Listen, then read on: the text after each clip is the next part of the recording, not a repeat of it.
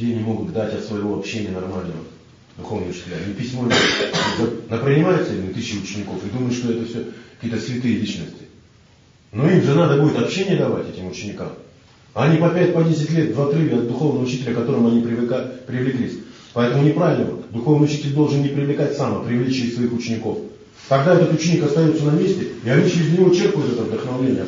А он, так сказать, больше склонен, один личность склонна к Ване, да, допустим. Мало у него вапу и больше Вани.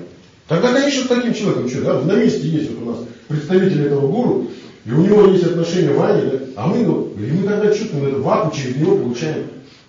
А когда, представляете, нет учеников нормально, только вот эта личность. И потом у него тысячи учеников, а он не дает никакого общения. А человек не видит, с кем привлекаться. И, а этот гуру там за 10 верст, за, за 10 тысяч верст. И по письмам там не укради, не угини, вот как я говорю, ну это не читали. Ему же нужно вот это общение, как вот, представь, как со мной общаются. Вот что мы заходим, видим, спрашиваем, лекцию слушаем, вдохновляемся, он знает все наши мелкие проблемы, бытовуху нашу. Понимаете, да?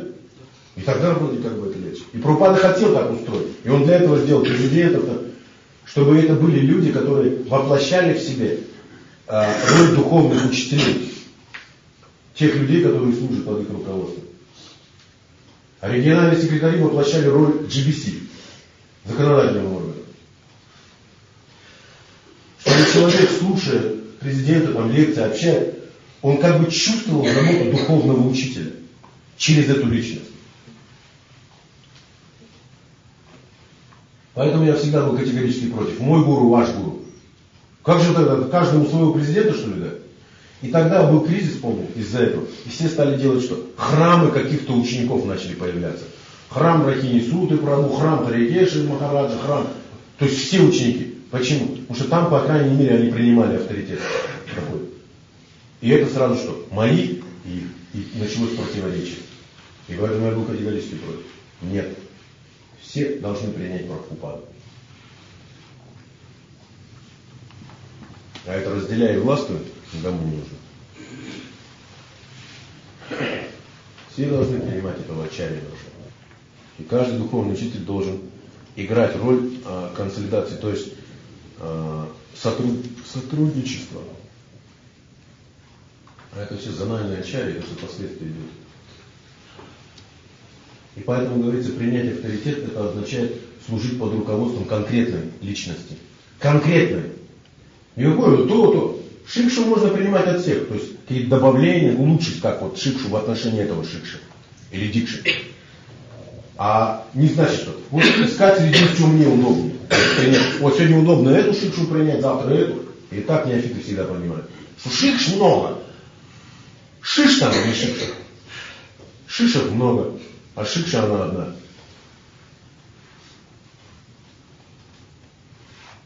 И поэтому они начинают цитировать каких-то других авторитетов и лбами сталкивать их. Это делают неофиты. Потому что авторитеты, когда вместе собираются, мало там каких-то противоречий. Мало. А если даже есть противоречия, то им легче друг друга понять. Ну давай ты сделай так.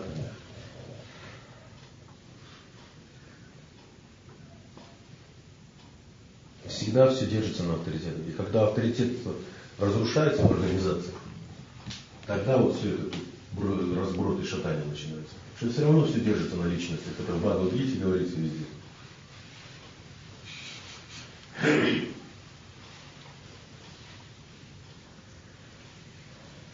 Пока Прупада был вот такая, потом такая. Поэтому Прупада не пустил своих братьев э, в Боги в Искон. Только по этой причине. Что тогда искон разобьется на все эти группы. И он потеряет свое значение.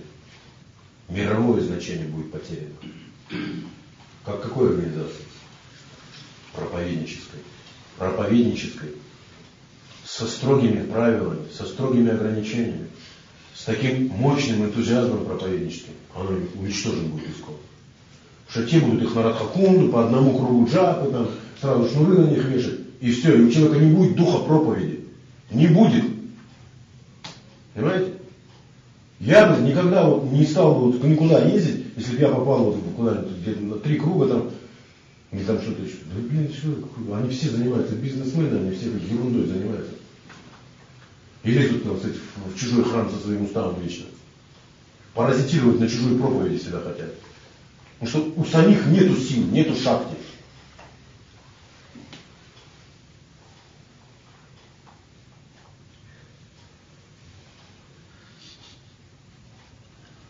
Поэтому я говорю, что человек инициированный преданный или брамана должен всегда заниматься проповедью, приводить новых людей, их культивировать, приводить, культивировать. И культивировать не для себя, а вот в этой общине, для общих, общие ценности. Не какие-то свои определенные ценности противопоставить ценностям какого-то другого авторитета, а общие ценности. А общие ценности дал только Шива Прабхупада.